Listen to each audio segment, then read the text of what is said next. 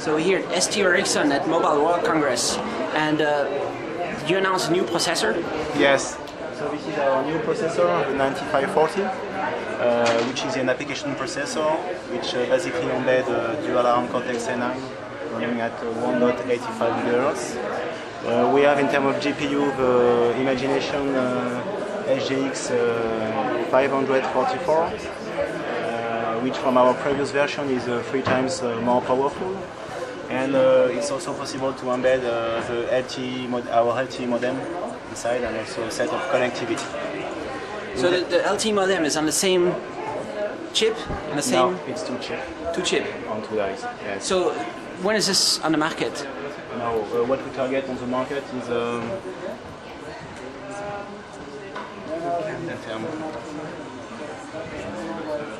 in term in term of roadmap, we we are announcing the 8540, which will be a modem and application processor on one single die. All right, so this is the 80, 8540 or 9540? We are presenting 9540. 9540, but 8540 is the one with the single die. Yes, So when is that? it's uh, for 2012. 2012, Yes. later. Yeah. And uh, 9540 is earlier, even, or it was the same time. I cannot comment on that. Okay, cool. So what is So- this one doing? Yeah, so so so basically what we are um, so what we are showing in, in this booth we are showing some uh, because it, it embeds uh, some uh, multimedia some uh, multimedia hardware IPs.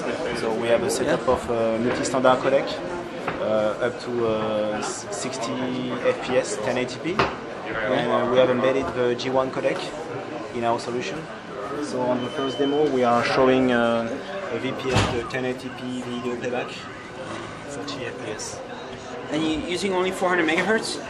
Yeah, because we have uh, we are using uh, uh, dynamic voltage and uh, frequency, uh, uh, so we- can change dynamically the frequency and the voltage uh, of the CPUs.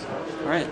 What are you showing? And yeah, so in, in, this typical example, we see that uh, the CPU are not loaded, and we are able to switch to 400 MHz. So yeah, that's uh, one of our benefits also is that we are uh, uh, supply voltage that uh, we can so show at 0.6 volt. All right. So uh, whereas uh, typical implementation is 1 volt, so it's a real differentiator.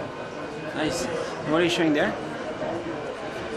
Here we're showing uh, the LTE capabilities. So uh, it's uh, it's a video playback, video streaming on YouTube over LTE. All right. On this part we are showing an OpenCL stack, software stack implementation, Yeah. which take advantage of our dual core processor. All right. And there? Yeah. What is this? This one uh, it's uh, wait, if you can see.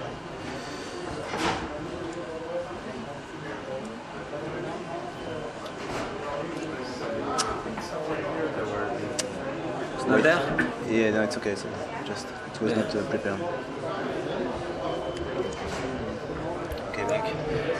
We are showing that we are capable of uh, nominally we are 1.85 at 1.85 gigahertz. and One at 85 gigahertz right now. No, no. Here we are showing that we can go up to 2.2 gigahertz. 2.2. Yeah, so we are showing it in an example with uh, uh, typically uh, it's a video editing application. You want to uh, uh, you have uh, captured the video in HD resolution and you want uh, to re-encode this uh, application in uh, standard definition. Right. So that uh, in that case we are not using our hardware accelerators, we are using software codecs. Okay, so you have uh, your settings. It's in a standard definition, okay, for the re-encoding. And then what you're going to see is that when I'm starting to re-encode the video, we are switching to 2.2 gigahertz. Nice. So that's the maximum? 2.2. It's crazy fast. That's a possibility. Yeah. It doesn't get too overheated. It'll, it'll, it'll be fine. And what are they showing here? So we are showing the capabilities of our GPU uh, from Imagination.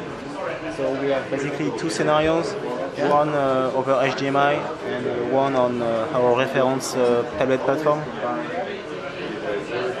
We are running on this scenario uh, at fi- around 55 uh, frames per second. Nice. So it's quite powerful. Yes. All right. So there was a 9540 and an 8540. Yeah. And the difference is LTE, not LTE. Or Uh, with 9540 you can uh, associate uh, the 9540 with uh, uh, LTE modem, okay, in two, in two dies. And uh, with uh, 8540 you will have the modem and uh, the application processor in one single die. so is there a difference in price? I guess the integration is more expensive, or it's just a matter of time uh, later. I cannot comment on this.